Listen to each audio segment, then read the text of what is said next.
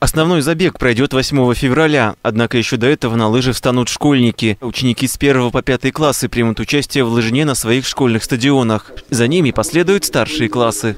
Далее у нас 6 февраля э, школьники 6-9 классах также э, стартуют на стадионах средних общих образовательных школ на своих. А 7 на базе «Снежинка» состоится забег сильнейших лыжников из числа студентов и представителей предприятий и организаций города. Ну а массовый забег пройдет, как уже было сказано, 8 февраля в 10 часов.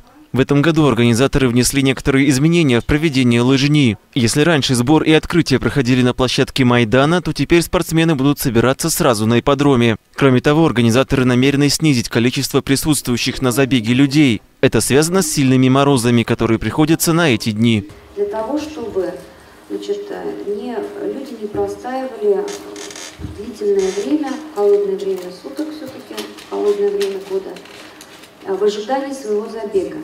Первыми по традиции стартуют участники вип-забега, руководство города и района. За ними последуют школьники, студенты, представители предприятий и организаций города. Эдуард Прокопьев, Николай Быков, Альметьевск ТВ.